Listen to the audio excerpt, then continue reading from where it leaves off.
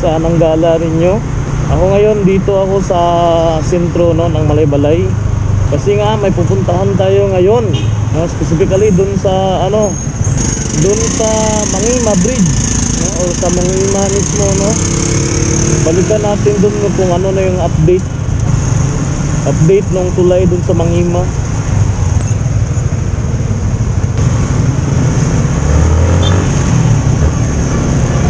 kung matapos na ba yung kasada? Napatawid dun napatawid dun paakyat dun sa Manolo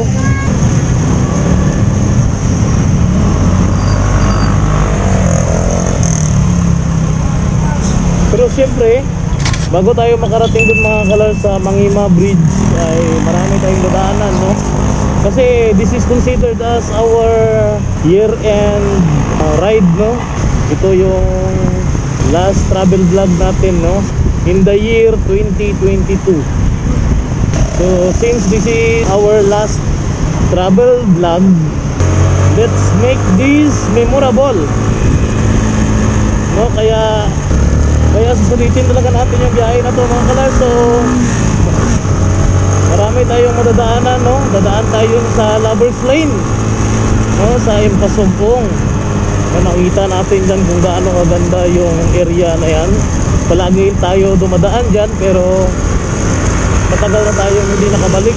At syempre ah, hindi ko pa na-feature talaga sa vlog ko yung landmark no na impasugong yung mga dancing tribal ladies dyan sa tabi ng kalsada.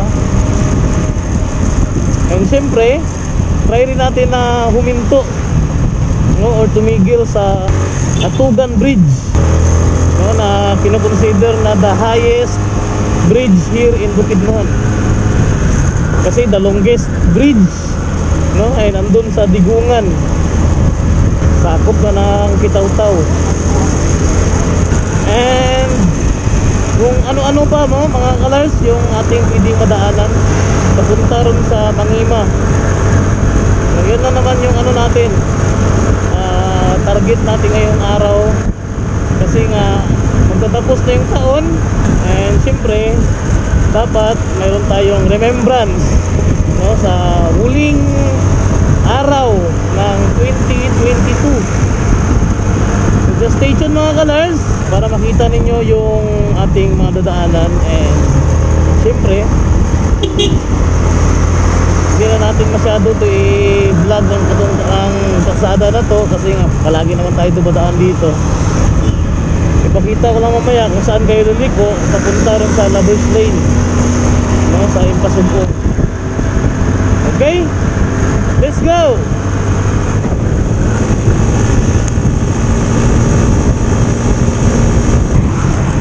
So dito tayo mga kalars liliko pwede naman i-straight mo lang ito. Pap- papunta ka rin naman dun sa ano yan sumilaw yung nat- yung yan talaga yung pinaka highway talaga na daanan pero dito tayo dadaan no? Papuntang Lovers Lane no? Impasugong patulangan bypass road. Dito rin ang daan papuntang Atugan Falls. Siyempre dito rin yung papuntang Lovers Lane. Pero ang labas pa rin natin ito mga kalars doon pa rin sa karugto ng highway na yan papuntang Sumilaw. Ito lang kasing bypass road. Stay tuned lang pa rin para makita nyo kung gaano kaganda yung mga view dito mga kalars maraming mga tourist spot yan dito mga kalars yung makikita nyo nandito yung Millionaires Mountain. Dito rin dadaan yung papuntang Communal Ranch. Yung Atugan Falls Lovers Lane ganun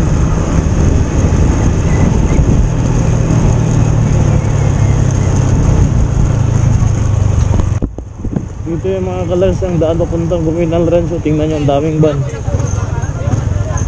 Papunta rin sa Millionaire Mountain.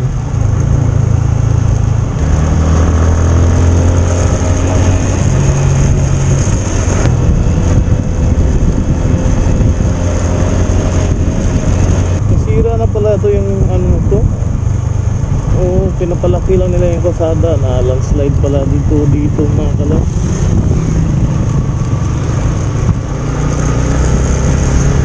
Sira yung mga kasada. Ang ganda ng mga view dito mga kalars.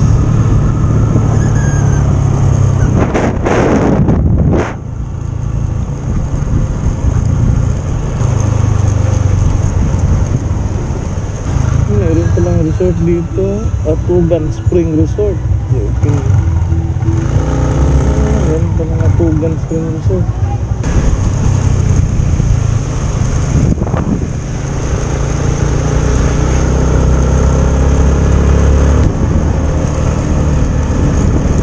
Dito na tayo mga kalars sa Lovers Lane.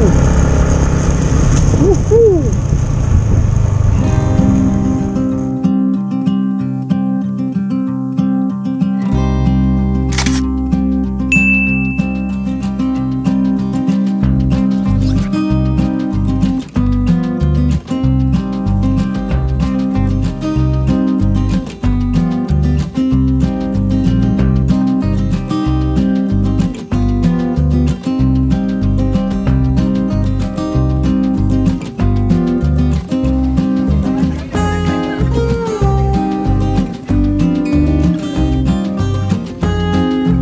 So malaki na wala mga pinagbago mga colors ng lovers lane dito no. Kasi nga meron na silang mga table dito na mga upuan this is donated by the bo- board member dito ng Salantapa sa Impasugong. So ang laki namang pinagbago talaga no. So kanina ang daming tao dito no kasi nga ah, madadaan lang kasi talaga siya saka marami na picture picture dito kasi nga napakaganda kasi ng mga ridges dito. Yan. Doon banda yung communal run sa baba. So tingnan yung mga colors yung river dyan, no? Tapos yung mga ridges. Yan, ganyan. Palagay ko nandun yan sa galing sa Atugan Falls yung tubig.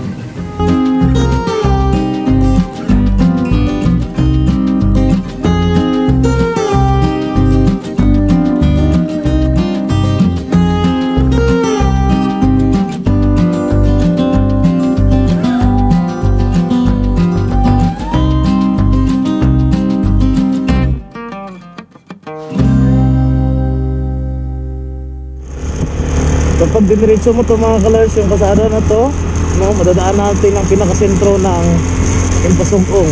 So, let's go! Diretso tayo sa pinakasentro ng Impasugong mga colors.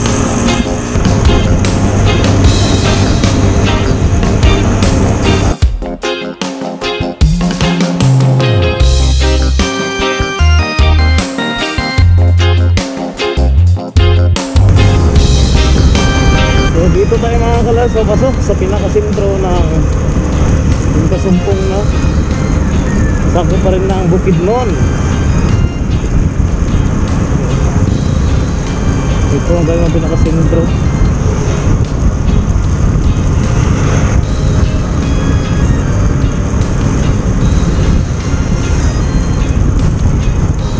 So dito tayo mga kalas sa liko no. Sobrang ganda ng kanilang ano dito. Likuanan. Dito tayo sa harap ng kanilang municipal hall.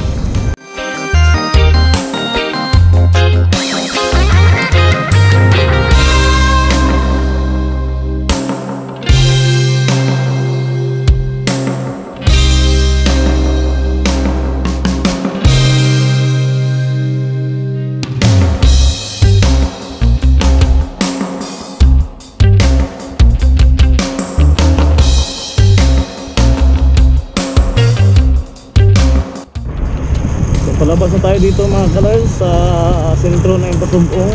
Pabalik na tayo dun sa highway no. Pinaka main highway talaga, Sairi Highway. Pagdaanan din natin yung ano dun. Mga dancing tribal ladies no na statue. Kumbaga yun talaga yung landmark ng Impasugong.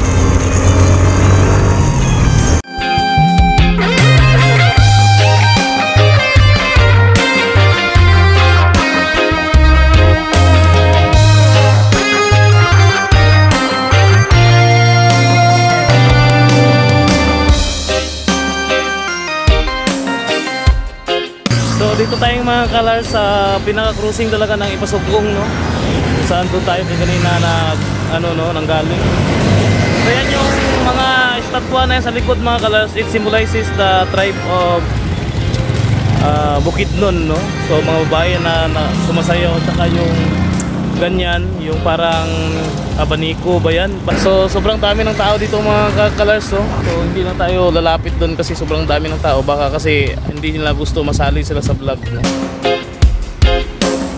Impasugong, a declared tribal capital of Bukidnon. Yun. So ito pala talaga mga kalars yung tourism center dito no sa Impasugong. So ah, likod nito.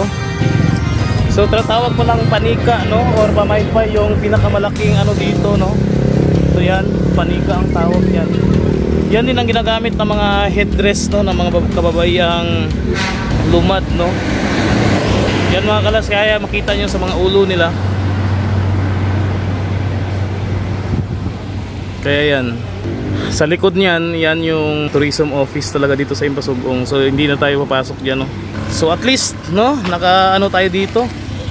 No, palagi lang tayong dumadaan dito. Ngayon lang pa lang tayo naka ano talaga, naka-discover kung ano talaga yung tawag dito.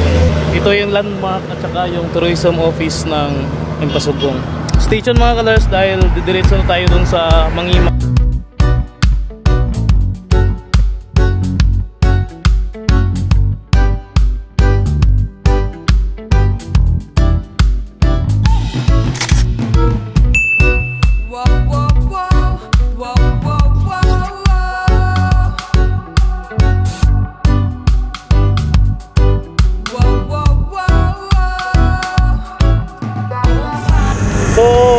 Kilometers or I guess mga dalawang kilometro lang yata ano or kulang-kulang dal- dalawang kilometro mga kalars from Impasugong no? Eh dito naman tayo sa papasok na sa sentro ng Sumilaw. So, dito na tayo mga kalars sa sentro ng Sumilaw. Parang isang kilometro lang mahigit no? Mula ron sa landmark no?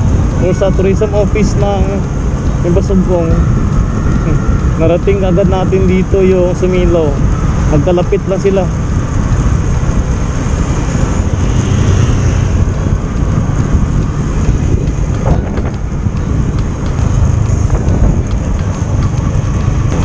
Kaya sabi ko kanina mga colors, no, nasusulitin talaga natin yung biyahe natin na to kasi nga last travel vlog natin ito sa taong 2022. So dito, dito tayo mga kalas sa barangay Kisulon, no, sakop ng Sumilaw, ito yung pinakaunang barangay dito, no. Good station mga kalas dahil malapit na tayo, no. Malapit na tayo makarating sa Mangima. So dito ulit tayo dadaan mga colors sa bagong kalsada dito no. Diyan pala oh, ginagawa na pala yung kalsada dyan. One way to mga colors. Yung papuntang Cagayan na yung pwede makadaan dito. So lang labasan nito is malupo pa rin no. malapit na sa sentro ng Malupo so dito na tayo mga kalala sa crossing no? hindi na tayo dumaan sa pinakasentro ng Malupo talaga marami signage dito kasi nga marami kasi yung mga aksidente nangyari dito mga kalas kasi nakakalito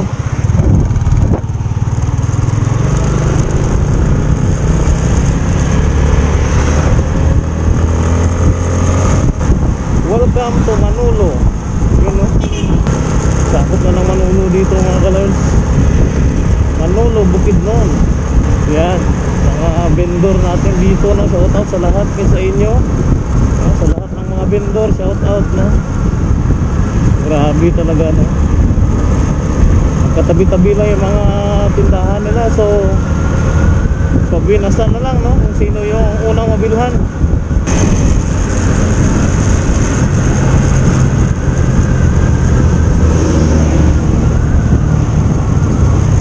Titigil muna tayo dito mga colors no sa dito. Welcome to Buge.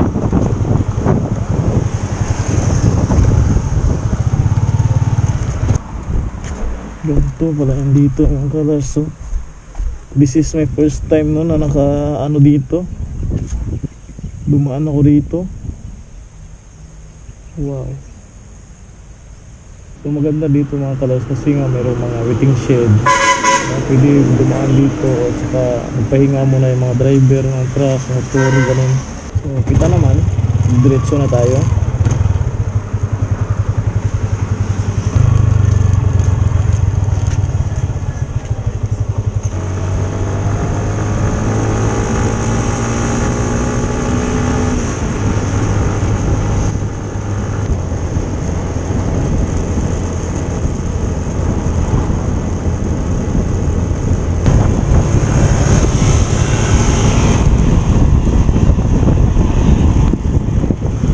So dito na tayo banda mga kalars. No, signal na tayo pa kaliwa kasi yung cruising na yan mga kalars sa kaliwa, yan yung dadaanan natin. Sa gusto dumaan dito. Ayan. Ito yung papuntang ano mga kalars. Tulay dito sa Mangima. Yung daan na to mga kalars, kung, natap kung matapos na yung kasada dun sa pagtawid mo ng tulay, ay papunta ka ron sa uh, Camp Phillips, no? Na hindi ka nadadaan sa pinakasentro ng Manolo. Sa Camp Phillips ang diretso mo nito. Uy, oh, simentado na nga lahat pala dito mga kalars. Dati nung unang punta ko dito, last 2 years ago. Oh, hindi pa to simentado. 2 years na ba o mahigit lang isang taon? Ah, mahigit lang isang taon. 1 year ago lang pala yun. Rough road po to dati. Oh, simentado na nga hanggang dito mga kalas sa tulay. Oh.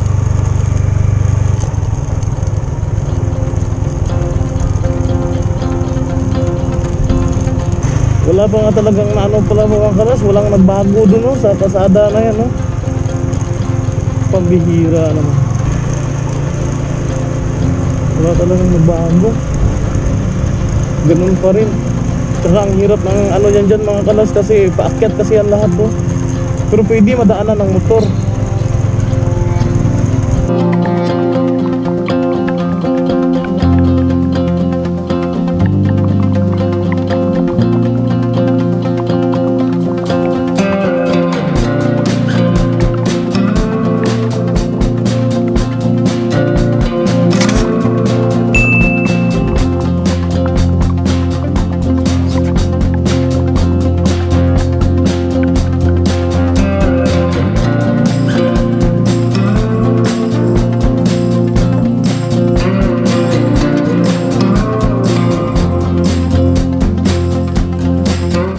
So yan mga colors, so yung kalsada na ano na yan, no? Sobrang liit ng daanan. Tsaka sobrang lalim mga colors ng ilog, oh. So, sa lahat na, na nagtatanong sa atin, no? Patungkol kung madaanan na ba daw yung tulay na to. I guess, hindi pa rin talaga. Siguro motor siguro makakadaan dito. Diyan, no? Paakyat dyan. Pero yung mga four wheels, hindi pa talaga. Pero yung tulay, tapos na. Nung mahigit isang taon na pumunta tayo dito, may crane pa na nakatayo yan dito kasi hindi pa masyado tapos. Pero ngayon, tapos na talaga yung tulay na to, no? Sobrang ganda da sana dito kung pwede na sanang madaanan, no? Nakakatakot lang mga kalas kasi nga ah, hindi naman ako nagja-judge ng tao pero 'di ba? Kung meron talagang mga masamang tao na pumunta rito tsaka kukuyugin ka dito, wala kang magawa kasi nga oh, tingnan mo nga mga kalas, walang bahay. Ganyan. So kung nais yung pumunta rito na mag-take ng mga pictures, no, video, mga prenup ninyo, dapat marami kayo no para hindi kayo matatakot. So tingnan nga natin ulit mga colors ang view nito kapag nasa aerial shot.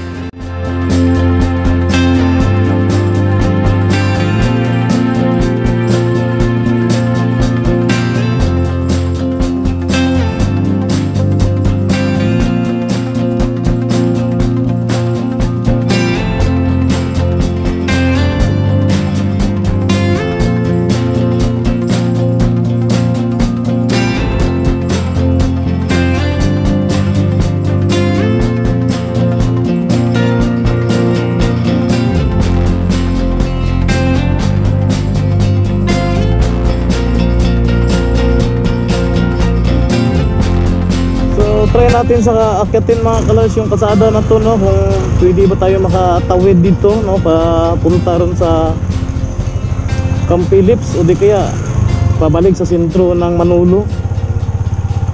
Try lang natin. Kung makaya kaya ng motor natin to.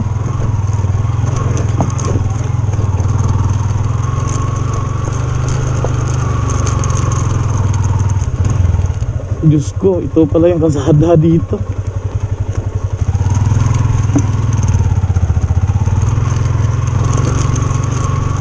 Ganito pala ang kasada dito mga kalars.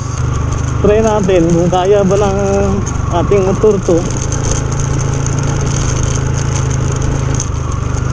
Kung hindi, edi balik.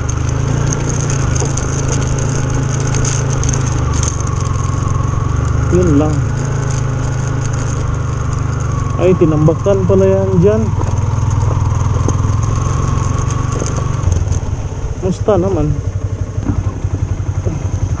Makaagi kang motor. Okay.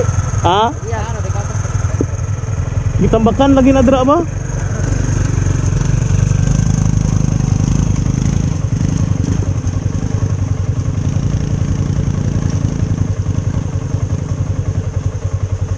Kanirang lisod? Kanarang lisod? Okay na dras taas? Ha? Sana, driver, turun lang ako. Bebe, dili eh kay kung dili ko ka agi, dili na ko magagi diri. Ay, lisod oy. Maglisod ako motor ana dira masangit. Oh, katong dito dapit. Ay, pwede man di ay no. Makaya ra dai niya. Pistingan ka na ko ba? Gablag magud ko good. Okay naman, basta hinay ra. O tagaan na mong sticker. Testingan ako ba kay kasigir ko ano diri ba wala pa ko kasulay drag saka dira kay pagabot sa, taas dito kay sementado naman no. So Gablog magugod mo na siya nga gusto gina ko ma-explore ni ba.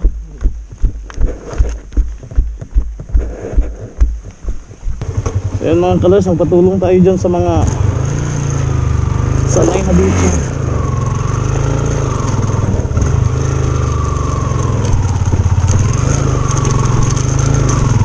Yun lang.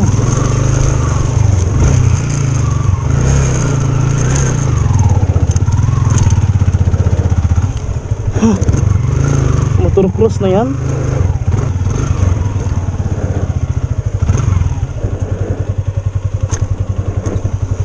Yun lang.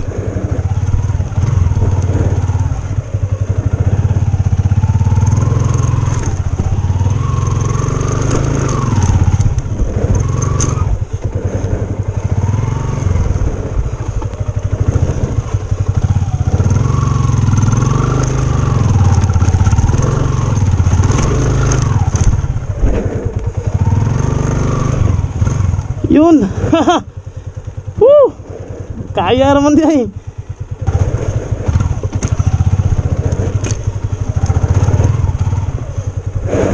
Na-appeal din mo sa akong vlog.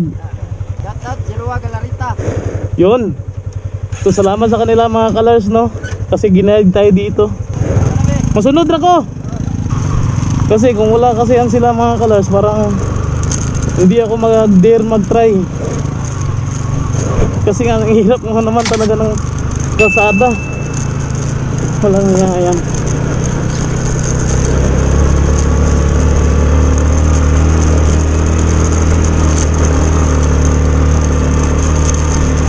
So yan mga kalars. Hindi ka talaga makano kung hindi mo i-try. Di ba? Hindi mo talaga malaman kung kaya ba o hindi. Kung hindi mo i-try, i-try. So yan. Kaya naman pala eh.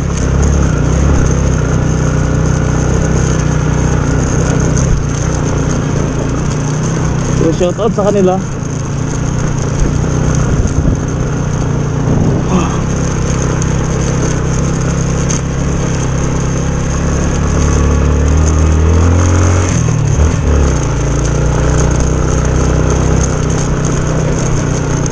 Simentado na kasi yan doon mga kalas pagkaakyat nito.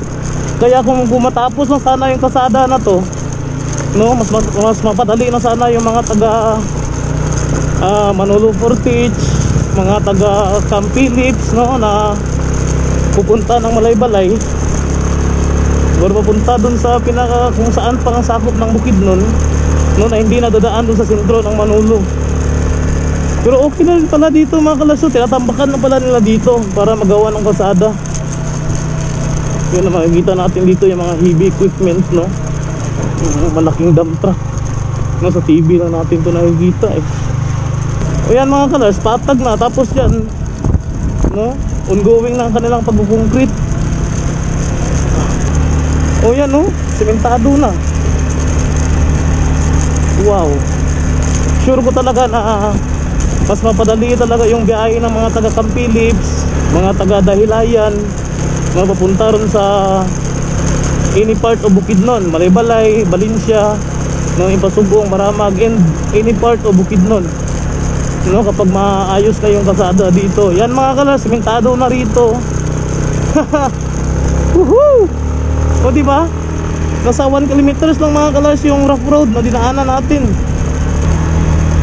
Wow. O di ba ang lapit lang pala ng ano mga kalas ng Manolo. Ha? Oh.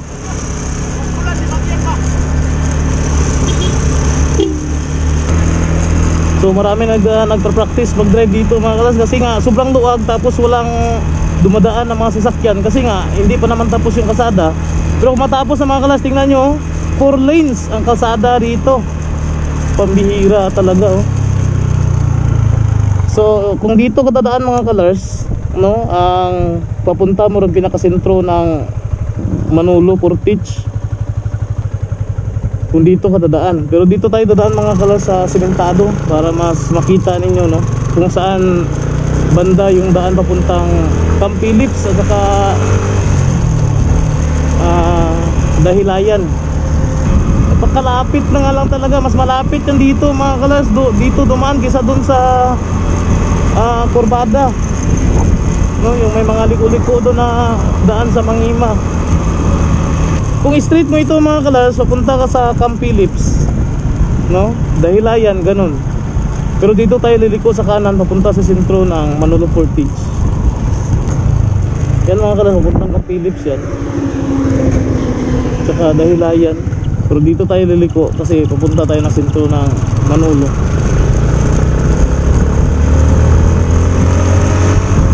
Mula dyan sa cruising, tingnan natin kung gaano kalayo no, hanggang sentro ng Manolo. Basta for me, mas malapit dyan kung dyan ka dadaan sa tulay.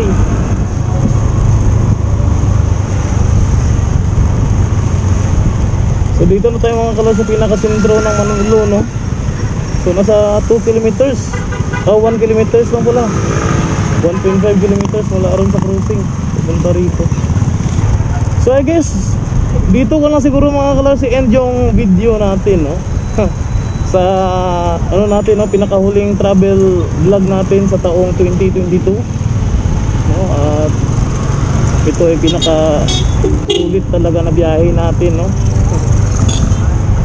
So hanggang dito lang siguro mga kalars Thank you so much for watching. Please do subscribe kung hindi ka pa nakasubscribe. And please follow me sa aking Facebook page no? Traveler So the way from Manolo, Portage, Bukidnon This is Traveler saying Live your passion Keep safe and God bless Woohoo! Bye bye